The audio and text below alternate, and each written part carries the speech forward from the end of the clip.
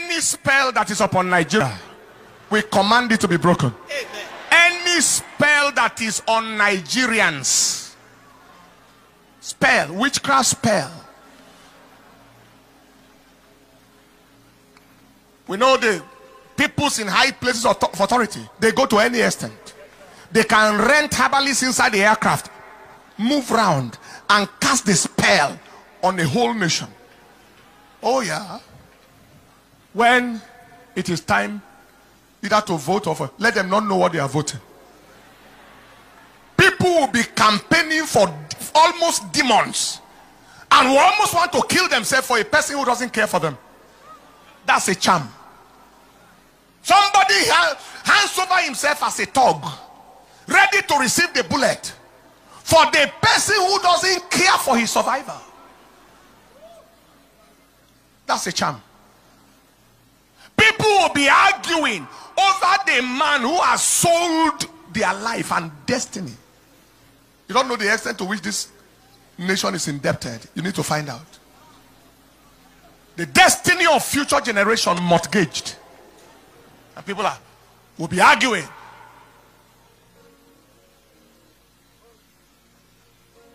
They don't care a damn whether you live or die. And then another charm is charm to be patient in suffering.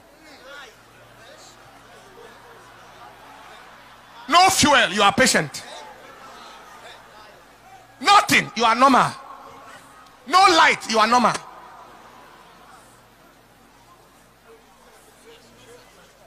No school, you are normal. Every day you go to the market, the price is on the increase. You are normal.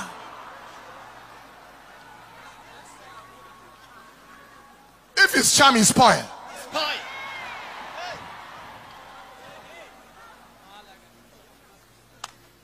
there are places in this country you can't travel by road, you can't travel by air, you, you can't travel by train. Airport was attacked, train was attacked, road, demons on the road. People are normal. It's normal. Capture somebody, bring 20 million, bring 50 million. They go and look for money to pay. Everybody is still normal.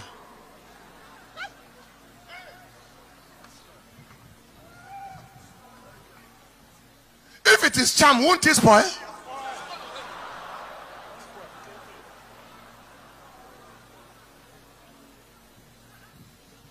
You're just patient, just go, just go.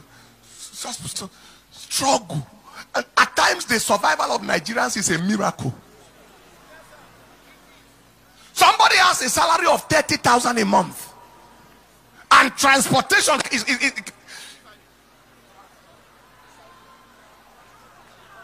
and he's surviving. Father, any spell cast on Nigeria, whether it is a charm, let it spoil.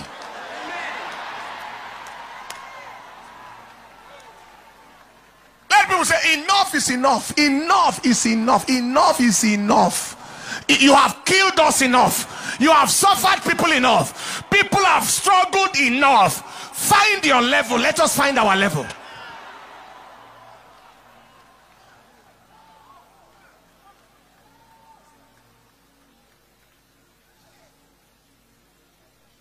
All of us were born into this country. Nobody own it more than another.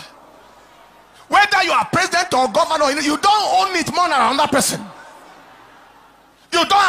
Right to it more than another person.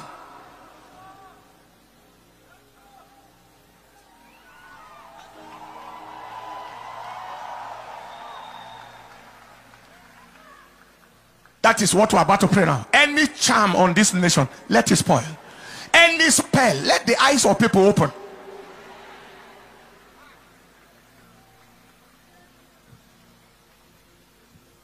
They beat you with cane. They say, Don't cry. Quiet. Like that wicked old man in the village gives a knock to the small child and hold the hand. Don't rub the knock.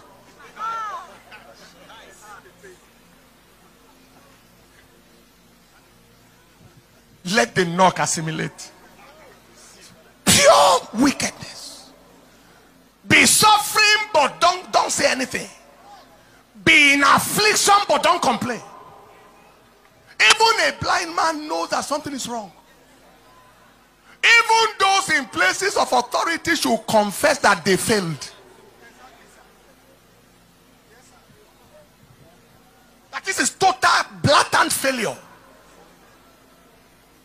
That you met something, you are you, you, you something is worse than how you met it. Is that success?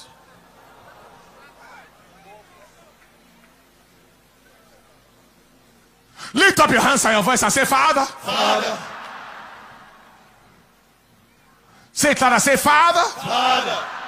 Today, Today. we ask, We ask that every spell that every spell cast on Nigeria on Nigeria and on Nigerians Nigerians to, to make them to make them suffer suffer without complaint, without complaint. let it spoil. Let it spoil.